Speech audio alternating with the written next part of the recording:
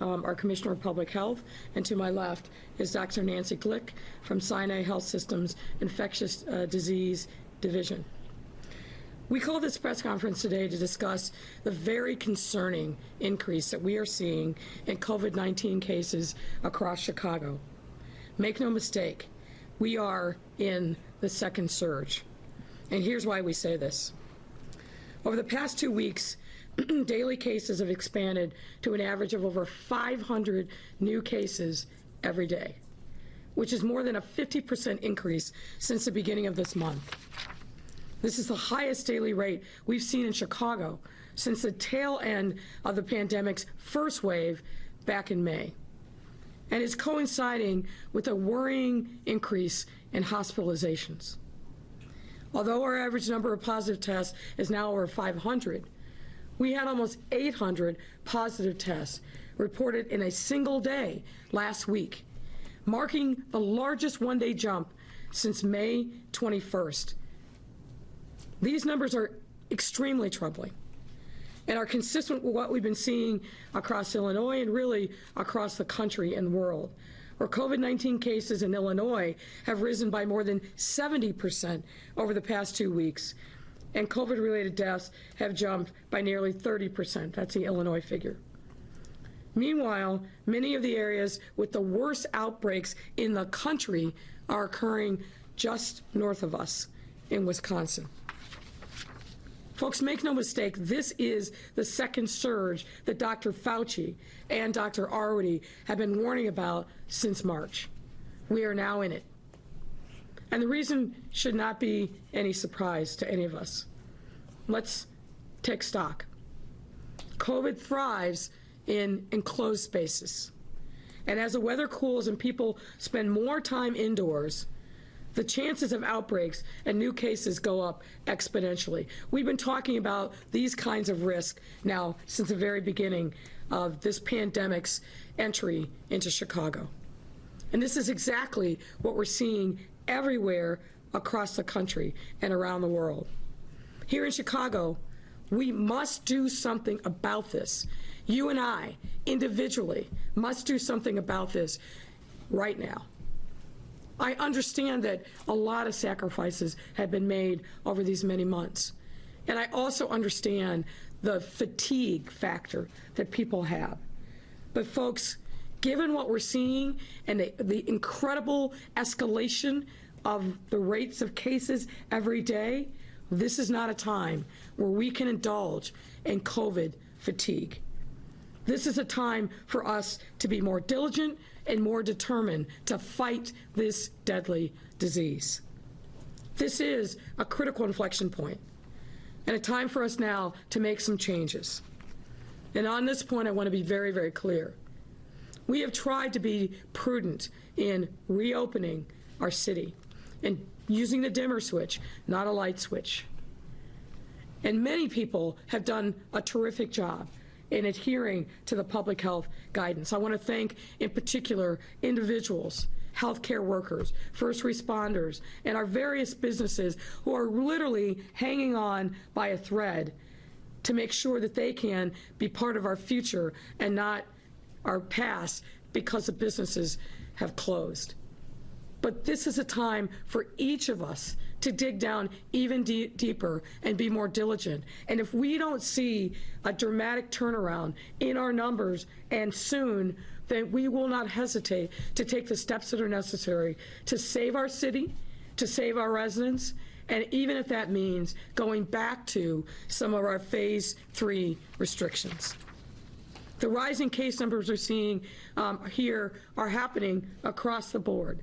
The conversations that I've had with Dr. Arwady and her team is what's the source? Is it specific? Is it targeted? What interventions can we do uh, to push back on and mitigate against these surging cases? But the truth is, it's happening across the board, across every age and gender across north, south, and west sides, among black, white, Asians, and brown residents. That's a, the troubling trend. We're seeing this uptick, and Dr. Arwady will go through some slides that really um, show this um, in a very graphic way every age group, every demographic, every area of the city is seeing a dramatic uptick in cases. And I'll say again, I know we're all tired. I know that being diligent in the fight against COVID takes a psychological toll, takes a physical toll, but we have to be diligent and push aside the COVID fatigue. When we let our guard down, if we pretend that COVID is not the deadly virus that it is, the result, with certainty, is sickness and death. And now, as we head into the fall and winter months, it is the worst possible time to let our guard down. The virus is real, it is deadly.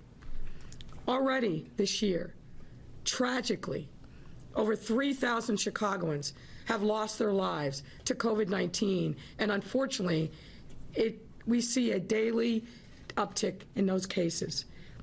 Every single day, someone dies in Chicago from COVID 19. That has not stopped. And you need only talk to the families who've lost loved ones to this disease or the individuals who have gotten on the other side of it but have lingering physical and mental effects of this disease that they are struggling with long after they have uh, tested negative. Stopping COVID 19 spreads starts with each one of us remembering precisely what is effective in the first place. And of course, it starts with face coverings. Folks, these work. This isn't a partisan issue. This is not up for debate. It works. It saves lives. And we've got to double down on wearing our mask. We've got to double down on maintaining social distance. I've heard some disturbing reports that in certain venues across the city, in some businesses, in some big spaces, in some houses of worship, that people are not taking it seriously. They are gathering in mass and endangering themselves, their loved ones, and our city.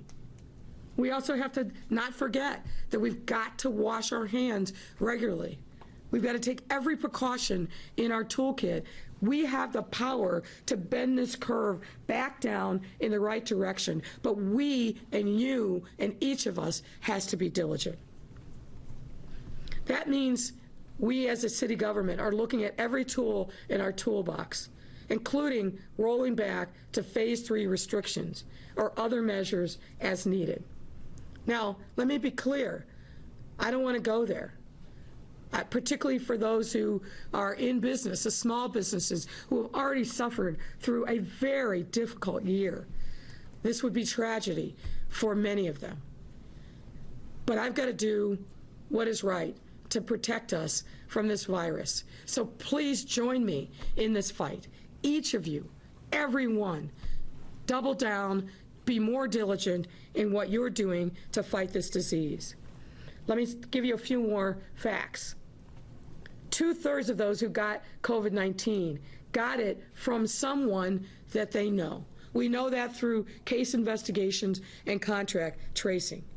What this means is it probably came from your friends, your family, or a coworker. That means is if you spread it, chances are you'll be spreading it to someone you know.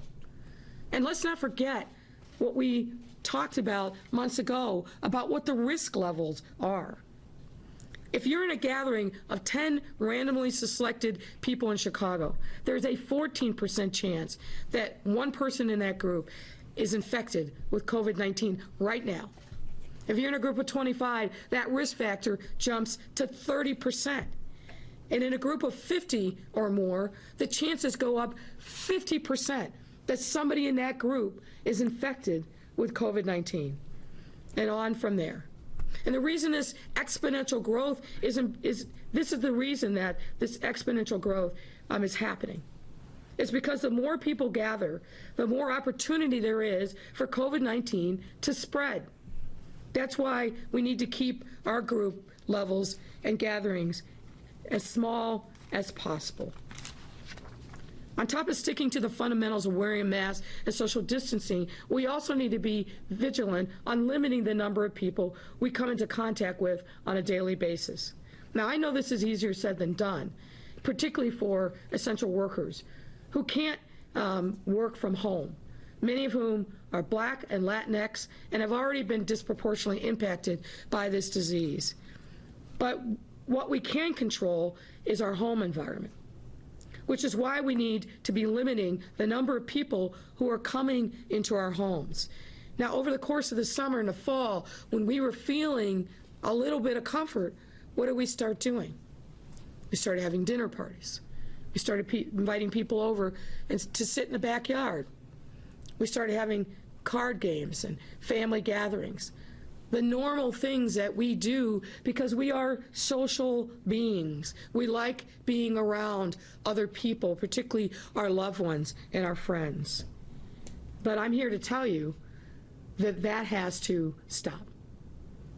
And it- particularly as we are coming on Halloween and then Thanksgiving and then Christmas and Hanukkah and other holidays. We have to be diligent to keep down the number of people that we are allowing into our homes. And I want to speak to our young people as well. We have increasingly seen large gatherings of unmasked, unmasked young people walking down our streets whether bar hopping, traveling in large groups to someone's apartment, folks, that has to stop.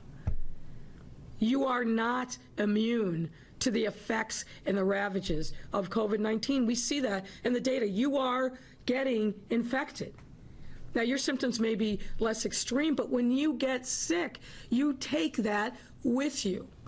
You are infecting your friends and your family. You are not immune just because you're young, just because you're 18 to 29 or 30 to 39. This has to be an all hands on deck moment for all of us. And I want to say this again. Our first line of defense against the spread of COVID 19 is through the actions that you and I take as individuals every day. Not just some days, but every day. When you leave your home, you must wear a face covering. Limit the size of your gatherings. Limit, if not eliminate, bringing other people outside of your bubble into your home setting. And Dr. Arwady will talk in a little more detail about what that means. Now, we have not seen the kind of challenges that our neighbor to the north in Wisconsin or Iowa or Indiana or even other parts of Illinois. Why? Because you have made a commitment to your health, the health of your family, the health of your city. Now is the time for us to re engage in those things that we know that work. This is a warning sign. This is a call to action. This is the thing that we need to do as a community to protect ourselves, but also to protect each other. We don't want to see us have to go back to the kind of restrictive measure, measures that were commonplace in March and April and May. But if we need to, we will. I won't hesitate.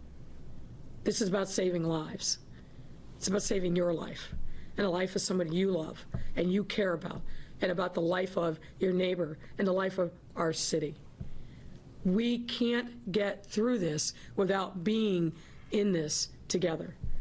We prolong the misery that we're seeing spiraling up, that it means more devastation across the board, more deaths, more sickness, more businesses and livelihoods dramatically and maybe irrevocably impacted. Now is a time for each of us to step up. And I call upon our fellow Chicagoans to be with us, everyone in this fight. This is our moment to make the difference in what our future is going to look like. Thank you. And at this time, I invite Dr. Arwady to come and say a few words. Doctor.